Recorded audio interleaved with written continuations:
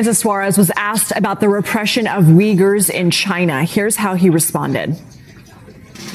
Will you be talking about the Uyghurs in your campaign? What, the what? The Uyghurs. What's a Uyghur? Okay, we'll come back to that. Uh, let me. You won't be. You okay. got to get smart on that. Hello, everybody, and welcome to the only app you need. Sorry about the window behind me, but it happens.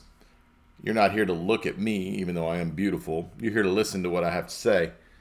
So, this guy from Miami just got asked this question What's a Uyghur? I completely and wholeheartedly agree with him. And here's why.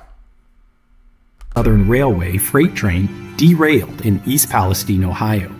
Five of the derailed cars were carrying vinyl chloride. A crater on the interstate.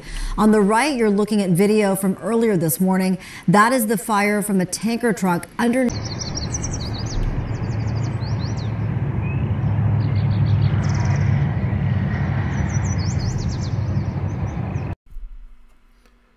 Folks, not much else to say.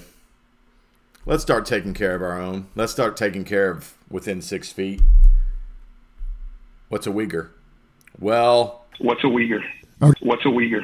Okay. What's a Uyghur? Okay. What's a Uyghur? That right there. That's why I'm the only app you need, and hopefully someday, your next president.